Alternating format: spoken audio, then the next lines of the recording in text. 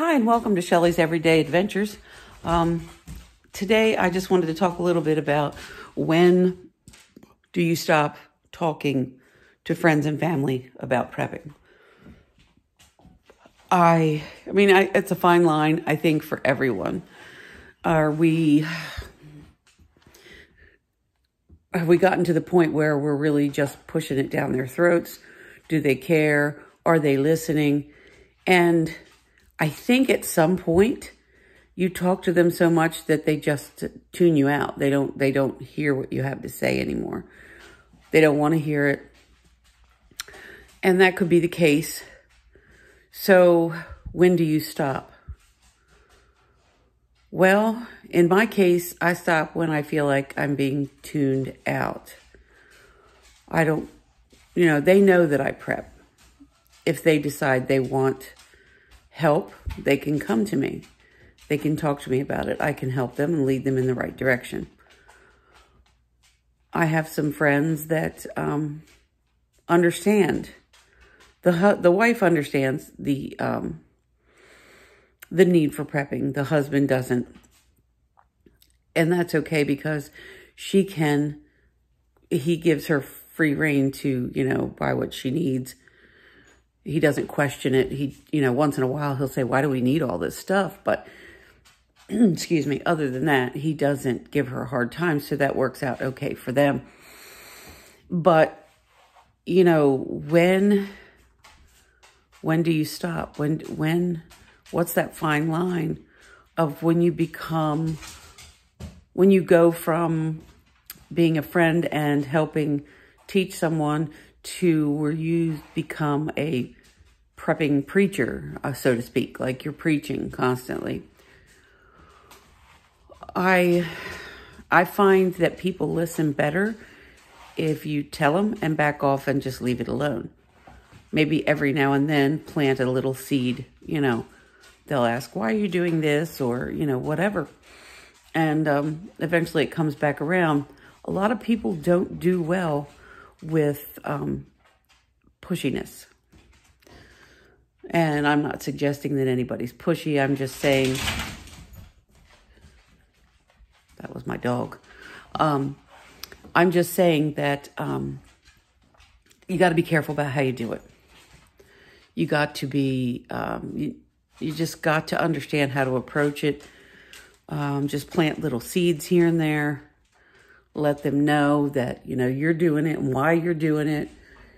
Try to stay informed about what's going on so you can talk to them about what's going on. I know that as a, a farmer, I know that right now the food that we're buying at the store is last year's crop. And it's a little more expensive, but we still have some. I know that this year's crop hasn't done as well in many areas. So I understand that next year is going to be a little tougher. It's going to be more expensive. It's going to be a little harder to find stuff. And that's the way it's going to be until things get straightened out. When that's when that happens, I don't know when that'll happen.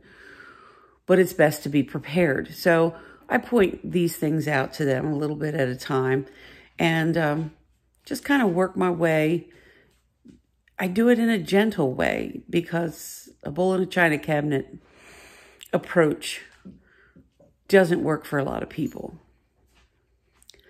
So the question today is when do you quit talking about it? I think it depends on the person that you're talking to. I think it depends on you. Um, again, we're going to be getting to the point where we don't want everyone knowing what we're doing. And by everyone, I mean we don't want to talk to strangers in the store and, you know, tell them you need to be prepping, uh, this is what's going on. Somewhere there's going to be a line where you need to keep things to yourself. I'm not sure. I think we're getting close to that line. I don't know for sure. I mean, in some areas, we may have already crossed that line um, in different areas. I know in my area, we have not. Um, it's pretty good so far. Um, where I'm at. But I'm pretty sure in, in cities in different places, it's probably getting a lot tougher.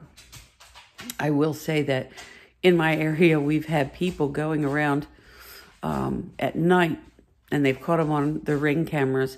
They're going around at night and um, getting into cars and stealing change and whatever they can steal out of cars. So that's been happening.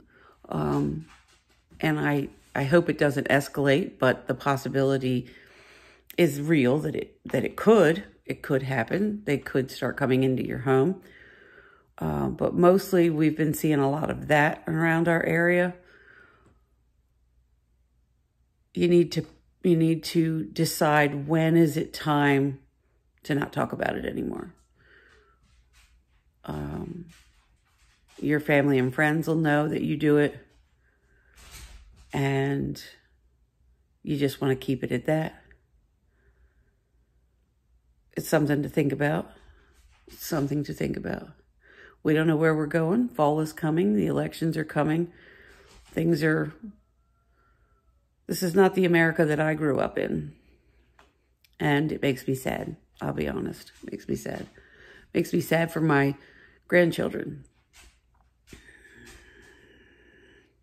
Anyway, think about it. When when do we when do we stop? When do we stop talking about it? We never stop prepping. But when do we stop telling others that we're doing it and trying to get them to do it? Make a comment below and, and let me know what your thoughts are on this. Um, I'd like to know. This is Shelly's Everyday Adventures. Please like, share, and subscribe, and have a wonderful day.